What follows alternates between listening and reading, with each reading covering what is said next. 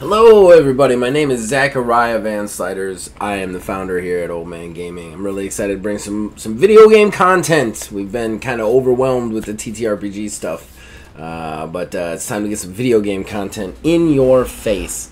And how better to do that than another episode of After 50? What is After 50? Well, we do reviews here when I get my uh, my hands on the game, but we call them Snap Judgment reviews.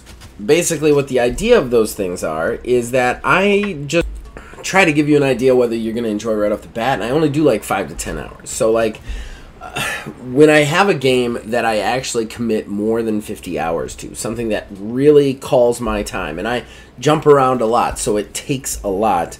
Uh, I'm going to start doing these after 50 reviews, kind of looking back on games that I've uh, already probably reviewed for Snap Judgment, um, but I've put the time in to really see what it's like, and then just kind of like re-refresh and re-go over it.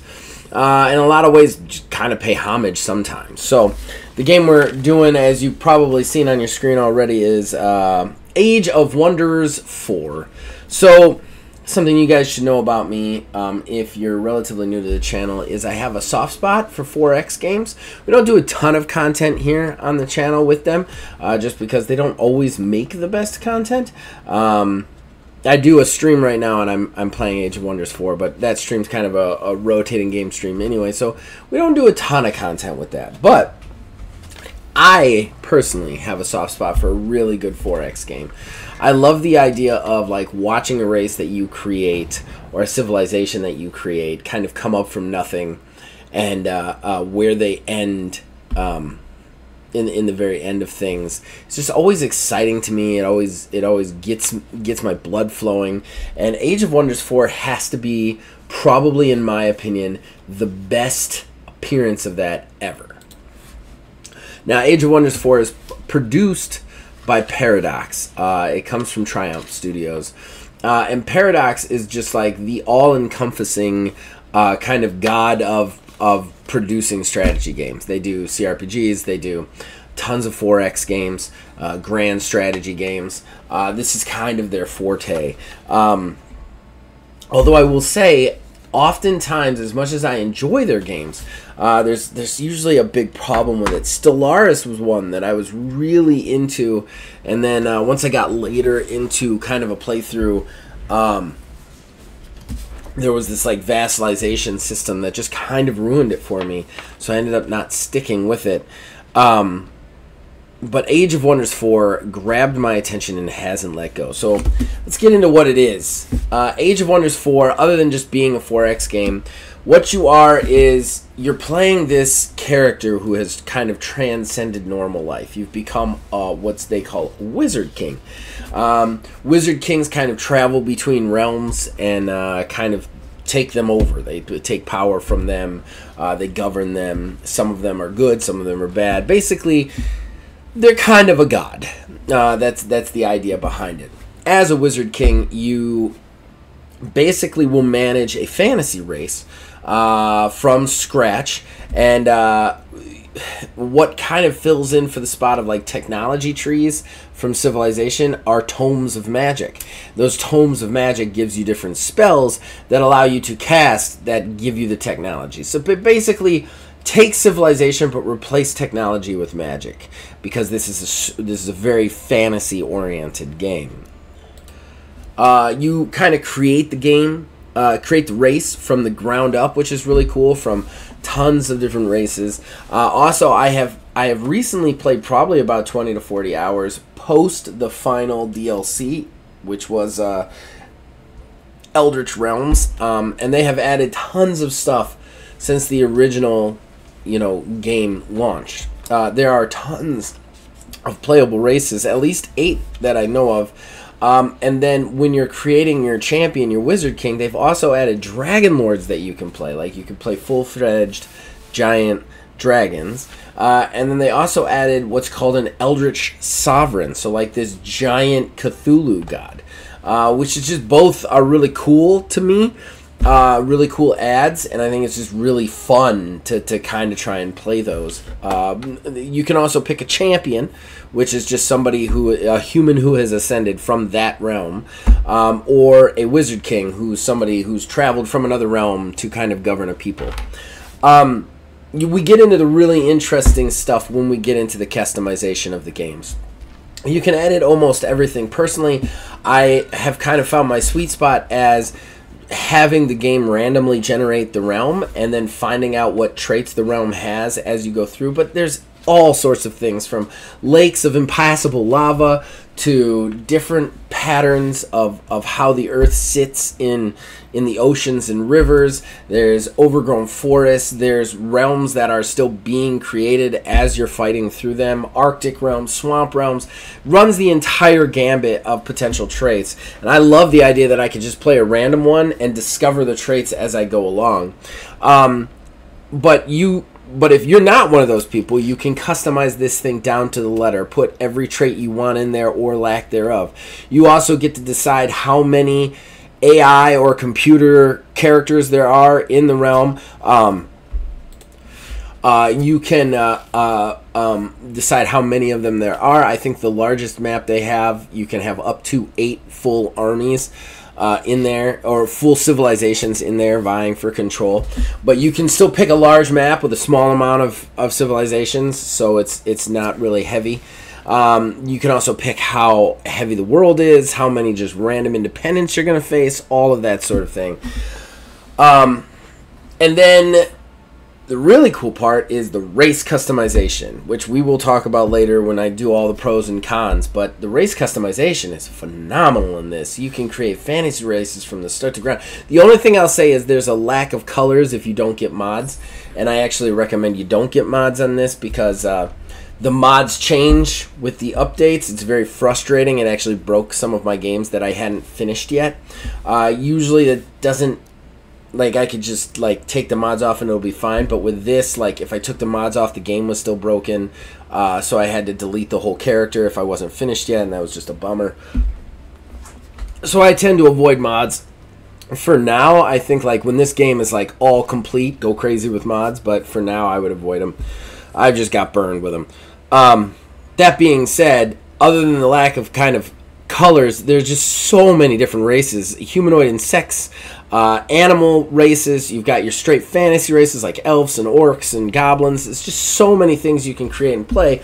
What's even more interesting is all of those races start with kind of a standard set of traits that are just like with the race. Like the the lizards are cold blooded, and you know the the the the uh, the insects have like maybe like a venom or something. I don't have it in front of me, so I can't remember offhand, but like something like that. You can trade those up, so you can customize your race. Like you say, like, well, I'm playing hobbits, but they have like lizard blood. Then like you can do that. Um, then you get into the the customization of the race and. And what's even cooler is you can kind of tweak how big or small they are. You can have tall hobbits or short orcs. Uh, there's really no end to the interesting stuff you can do here, especially if you have all four DLCs, which is a hefty price tag uh, attached to all of those. But I'm not gonna lie, I, I kind of think it's worth it. I paid, I want to say sixty dollars for the original base game, and then since then I pay, bought the the season pass once they were all out for forty. So it's like two games, and I feel like it's the sequel meshed in with the first one, which is really exciting to me and has really given me a lot of stuff to do when playing this game for the foreseeable future. Rarely will I say it's worth it to spend that much money on a game, but I actually kind of feel like it is in this one. There's just endless replayability here.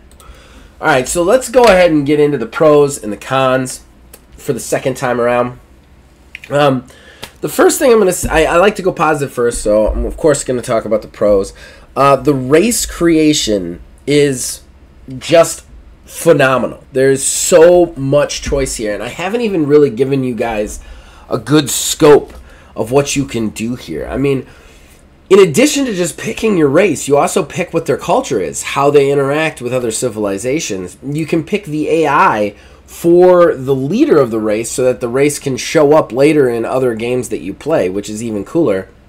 But you also pick like like not just appearance, but like how this race exists. like what their culture is. And I think that's just so cool.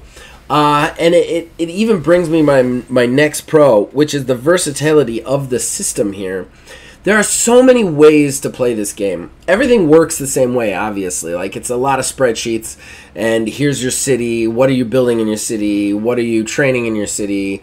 You know, uh, how is your city advancing? That sort of thing. But there's all these different aspects to it. Um, just a good example. I'm playing two games right now. One of them is uh, they're, they're they're both bad guys. One of them is these ritualistic, cannibalistic, barbarian crocodiles, um, like croco humans. Um, so they're just all about the blitzkrieg and the fighting. They don't do magic. It's all about money generation with them, and they they actually get a lot of money because they're very chaos organized. So they get a lot of money from just pillaging and destroying like neighboring villages.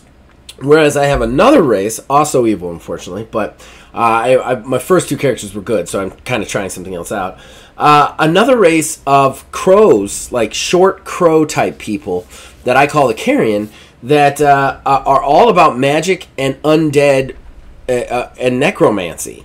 So they're almost their military is all about if they destroy other people in armies, they can then raise them as skeletons. So they get this crazy amount of like swarm kind of uh, uh, mechanics to them.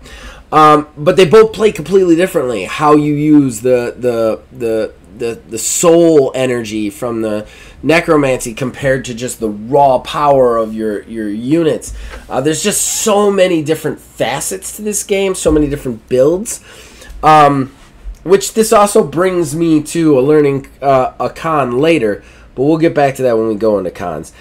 the other two things I really want to shout out here, and one of the things that really attached me to this game, is first the war mechanics. Um, so this game is twofold. Not only is it grand strategy, but when you run into other armies, um, you can manually do the combat and go down to a battlef- battlefield level where it almost becomes a tactics RPG.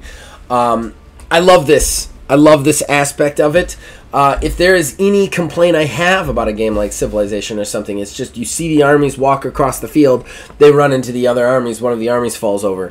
Uh, with this, you really get into like not just the overwhelming, overarching grand strategy thing, you also get into the battlefield mechanics and good mechanics can win, uh, good strategy can win or lose you a fight which I think is really enjoyable. And don't worry, people out there, if you feel that takes too much time or you don't want to go into that level, they do have an auto combat where you can just click it and it decides kind of based on the power of the both armies which armies win. Kind of more in kin with your your civilization games. And then finally, I cannot quote this woman enough. She is the best. They have a narrator for this. Uh, not for the opening CG, but a narrator who every time you pick a tome kind of reads you a quote from the tome. Um, she's phenomenal. Cannot remember her name. I actually nominated her nominated her for our video game awards last year.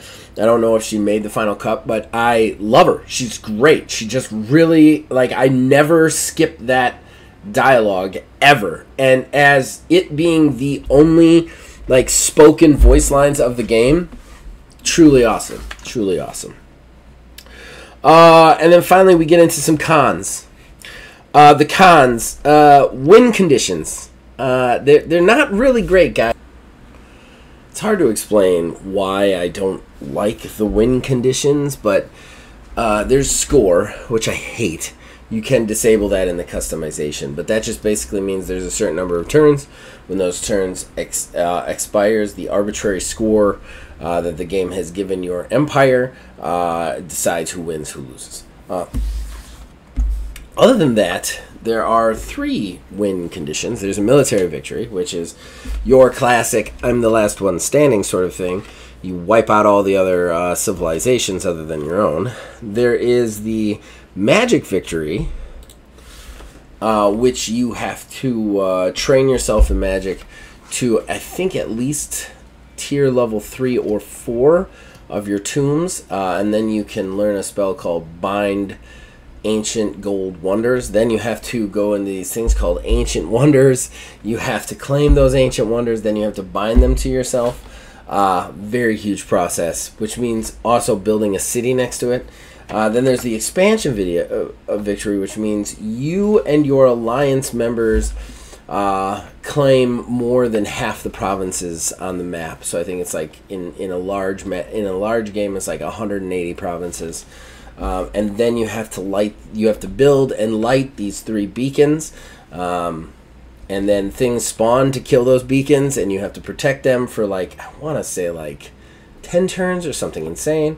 Uh, there is also a um, and then finally there's the um, the seals victory, which are these like places on the map. Uh, I do random map traits, so this is one that you have to have seals active on your trait map, and then uh, once you have somebody on them, you start to gain points every round, uh, and then uh, the amount you have. Uh, with people on them gives you extra points, and I think it's something crazy depending on the size of the uh, the the the map, like 300 points or whatever, till a victory. Um, the win conditions are just weird to me. I, it's very hard for me to put my finger on what I it, like or dislike about them. I one of the big things I don't like, and I don't know if this is ever true because the first time it happened to me, I stopped playing with score victory. But uh, you can't win uh, an allied victory with scored victory, which is super frustrating. Um, the person with the highest score just wins, even if you're in an alliance with them. Uh, so I, I, the first time that happened to me, I turned scored victory off. I've never gone back. Uh, so I don't know if that's something that was fixed or not. But uh, I do like that you can have allied victories with your other cohorts. You don't have to like then fight over who's going to actually win it. Uh, I also like that because of that allied victory thing. Uh, one thing I always hated in Civilization is you'd start to get close to a victory, and then all of your alliances would just break, and everybody on the map would attack you. Uh, that doesn't happen here because if you win, they win. Uh, if you're in an alliance with them, if they're not, they're going to come after you. But otherwise, no. Um, still, just there's just so complex with the win conditions that I tend to end up aligning myself with other character, other AI things, and kind of waiting for them to get to the uh, to the to the victory, um, and aiding them in that. I think of the two characters that I've won with. Um, both of them, both of them, I uh, I was allied with somebody who went for an expansion victory, and I just helped them protect the beacons until I won.